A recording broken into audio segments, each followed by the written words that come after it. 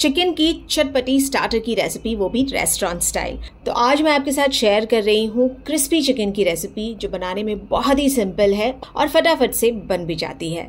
तो रेसिपी को हम बनाएँगे आधा किलो बोनलेस चिकन के साथ. मैंने लेग पीसेस के बोनलेस लिए हैं, जो बड़े ही जूसी और टेंडर रहेंगे. आप चाहें तो चिकन ब्रेस्ट पीस के बोनलेस भी ले सकते हैं. तो इन्हें हम इस तरह से पतले लंबे पीसेस में काट कर रेडी रखते हैं. ये आधा किलो बोनलेस चिकन को हम बोल में डाल लेंगे. चिकन को मैरिनेट करने के लिए इसमें डालेंगे एक चम्मच अदरक लहसुन का पेस्ट एक चम्मच डालेंगे सोया सॉस एक चम्मच डालेंगे व्हाइट विनेगर विनेगर की जगह आप चाहें तो नींबू का रस भी ऐड कर सकते हैं। एक चम्मच है काली मिर्चों का पाउडर एक चम्मच कश्मीरी लाल मिर्चों का पाउडर आधा चम्मच नमक। एक अंडे की सिर्फ़ सफेदी हम ऐड करेंगे। चिकन ज़्यादा है तो आप पूरा अंडा ऐड कर लीजिए। चिकन की कोटिंग के लिए हम डालेंगे आधा कप मैदा और एक चौथाई कप डाल लेते हैं कॉर्नफ्लावर सारी चीज़ों को हमें मिक्स कर लेना है। अब चिकन को और भी ज़्यादा क्रिस्पी बनाने के लिए हम इसमें डालेंगे दो बड़े चम्मच तेल। तेल कोई भी आप ले सकते हैं। एक चौथाई चम्मच इसमें बेकिंग पाउडर या बेकिंग सोडा ऐड कर लीजिए। इससे चिकन बहुत ही क्रिस्पी बनकर रेडी होगा। फिर से एक बार सारी चीज़ों को मिक्स करना है। चिकन को ढक देंगे और इसे आधे घंटे के लिए मैरिनेट कर लेते हैं। चिकन को मैरिनेट करने के बाद हमें इसे फ्राई कर लेना है। तो तेल को मैंने गर्म कर लिया है मीडियम फ्लेम पर। चिकन के एक एक स्ट्रिप्स इस तरह से उठाकर हम गर्म तेल में डाल देंगे। दो से तीन मिनट के लिए चिकन को इसी तरह से पकने देंगे मीडियम फ्लेम पर। फिर हम इसे पलट लेते हैं। दूसरी तरफ़ से भी अच्छा सा गोल्डन कलर आ जाए। इसके बाद हम चिकन को अलट पलट करते हुए हाई फ्लेम पर दो से तीन मिनट के लिए और पका लेते हैं। लास्ट में हाई फ्लेम पकाने से चिकन में ज़्यादा तेल अब्जॉर्ब नहीं होगा।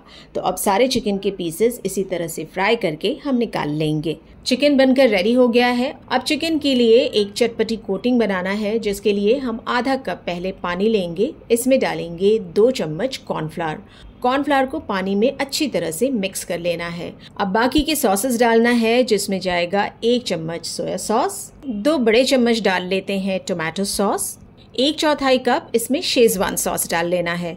एक बड़ा चम्मच डालेंगे रेड चिली सॉस एक चम्मच मैं इसमें कश्मीरी लाल मिर्चों का पाउडर डाल रही हूँ। रेस्टोरेंट्स में कलर ऐड किया जाता है। घर पर आप अगर ये रेसिपी बना रहे हैं तो बस कश्मीरी लाल मिर्चों का पाउडर ऐड कर लीजिए।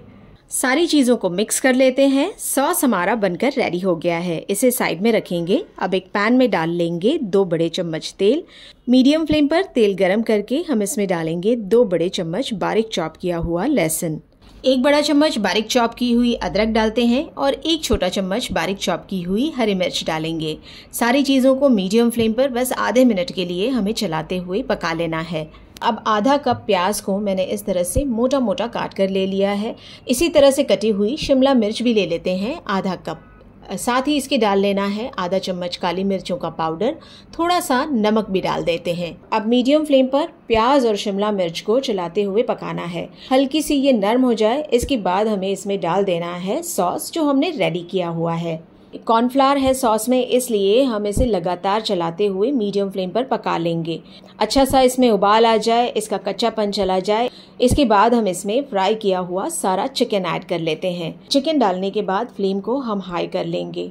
हाई फ्लेम पर चिकन को हमें ये सॉस के साथ कोट करते जाना है। चिकन को ज़्यादा नहीं पकाना है, इसे क्रिस्पी ही रहने देंगे। जब आप देखें कि चिकन पर सारा सॉस कोट हो चुका है, बस इस टाइम पर हम फ्लेम बंद कर देंगे। थोड़े से बारीक चॉप किए हुए हरी प्याज के पत्ते ऐड करके इसे एक बार मिक्स कर लेते हैं। बस अब गर्मा गर्म क्रिस्पी चिकन को सर्व कर लेते हैं। इस क्रिस्पी चिकन को सर्व करने के लिए आपको कोई चटनी या सॉसेस की ज़रूरत नहीं पड़ेगी। चटपटे क्रिस्पी चिकन को बस आप इसी तरह से सर्व कर लीजिए।